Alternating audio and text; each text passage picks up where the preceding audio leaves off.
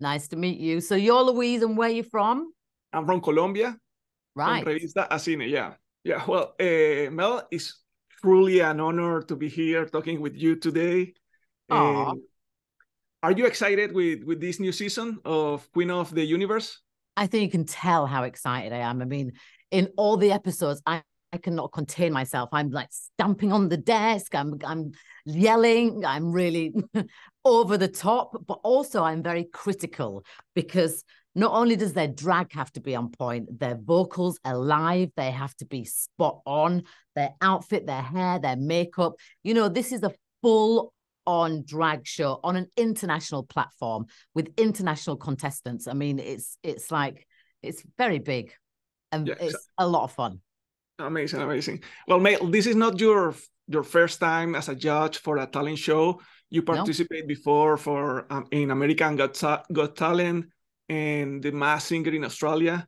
So yeah, and X Factor. I've done quite a few of these shows, but there's nothing like this show because exactly. it really brings the drag community and all what they do into their full glory for everybody to see. I mean, it's on Paramount Plus, which means it can be watched everywhere by anyone. And I think that's brilliant. It's about time. So, what do you think could be like a new challenge for you with this new show?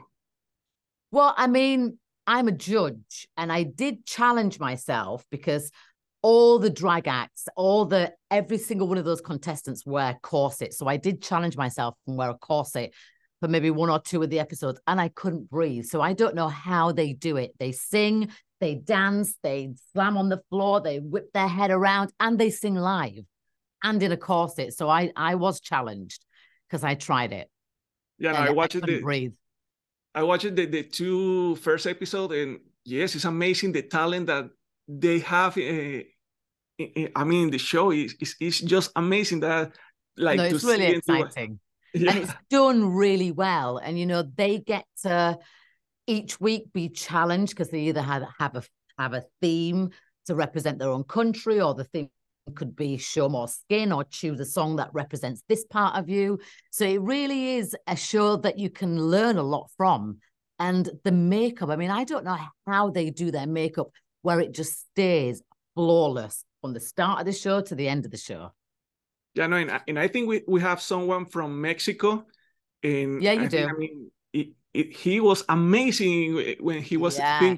singing. Oh, yeah. It was crazy. And that's what I'm really excited about because it's only going to be two episodes that are shown off the bat, but then you're going to want to wait. Well, you're actually not going to want to wait because the wait is going to be painful to watch the next episode and the next episode because there's some real twists and turns. It's very exciting. Okay. Well, uh, Mel, usually talent shows are very emotional what do you think is the level of emotions and drama that we are going to see in the queen of the universe in comparison with other shows that you participate before? Well i think number one this these are drag acts. So the bitchiness level and the the the head movements and the little comments are just on point and out of this world and hilarious. But also being part of that world you know doing drag and a lot of them have done it for many many years. They've uh, they've encountered a lot of struggles. Uh, many of their friends have died from the alienation from just being involved in that community which is really sad and it still happens to this day. So you really get to understand that community. You get to be you get to embrace it and be along with them on on this ride which is not easy. Amazing. And what do you think made this season different from the first one? Because I'm in it. yeah, well, beside that, of course. That's the only thing. the most important thing. Yeah, for sure.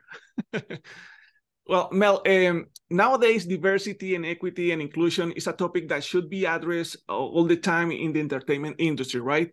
And mm-hmm. there are not many shows like the uh, the Queen of the Universe right now why do you think having these kind of shows is important not only not only to open minds but also to educate people because it's part of our society and you know thank god for rupaul he's had drag race for many many years but it was only it, it, you you would have to know about it to want to watch it or be a part of that world. Now it's going to be accessible to anyone and everyone, and why not? This should have happened a long time ago. It's important. Amazing. Uh, Mel, what was that thing that so so surprised you the most in this season? Um, the bodies, how they snatch those bodies in and just make it look, look like nothing, like they're really comfortable. Because I had that corset on for a couple of hours and I was dying, and I'm a woman and I was dying. I don't know how they do it. Amazing. Well, uh, Mel, uh, just to finish, it would be amazing if you could say hi to people in Colombia and, and if you can invite them to to watch the show. Okay. Right. Hi, I'm Mel B. Hello to everyone in Colombia.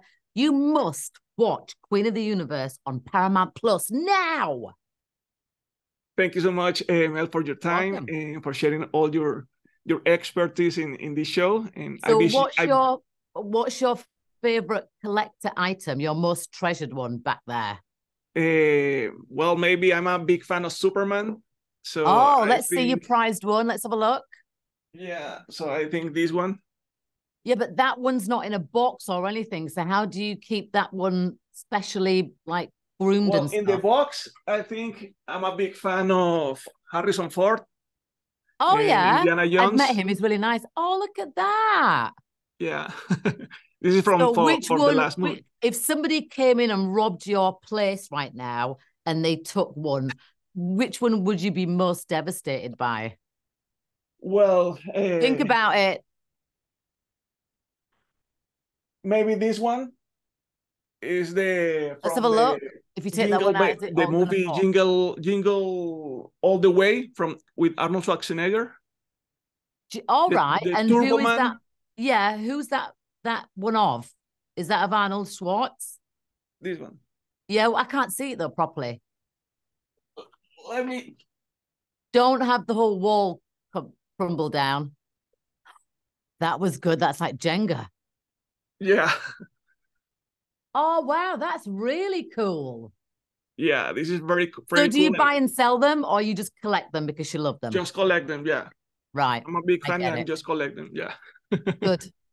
All right, nice to speak to you. Well, nice to meet you, and thank you Hopefully so much. Nobody for, robs you. Keep I hope so. Don't air eh, that bit. Well, and this is just my office. I have more in my house. Really? Yeah. How many more? Well, around well, you must have counted. Don't pretend you don't know the exact number. Well, I mean, counting with all what I have here, I think I have around 100 on 150. And then in the house? Yes, I mean an extra about from this one the the, the Funko Pops. Oh, then you're a proper collector. Yeah. Good, good, good. I like it. All right. Bye. Bye.